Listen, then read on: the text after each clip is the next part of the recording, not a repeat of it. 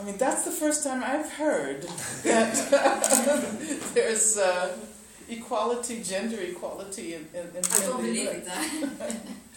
uh, but I, I know exactly uh, uh, what you're talking about. In the same vein, uh, especially because of the election of uh, um, Barack Obama, people have argued that now the struggle against racism uh, has been completed, that we've reached the pinnacle. Um, and, you know, certainly when one looks at uh, the issues that really matter, when one looks at the on the ground issues, when one looks at the, the, the continued disparity between the um, uh, wages that men receive uh, uh, compared to women, if one looks at women of color, if one looks at black women, uh, Latina women, for example, uh, the, the, educational achievements, uh, the um, job achievements, when one looks at access to health care, when one looks at, at, at, jobs, when one looks at all those issues, one sees that um, there is a profound inequality that continues uh, to um, define not only race but also gender. And um, it uh, I think that it was um, important that the first legislation that uh, that Obama signed um, was uh, uh, legislation for women's wage equality.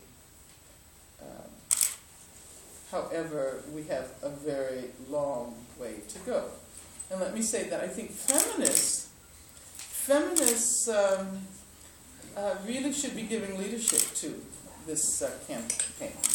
And I'd like to, I'd like to think of feminism not just as a, uh, an expression of uh, the uh, uh, attempt to achieve equality, uh, gender equality, but rather as a way of thinking about issues as a mode of, of, of organizing and as a mode of research that brings, that thinks um, um, contradictions in a productive way. And of course, I'm talking about a, a Marxist inflected feminism.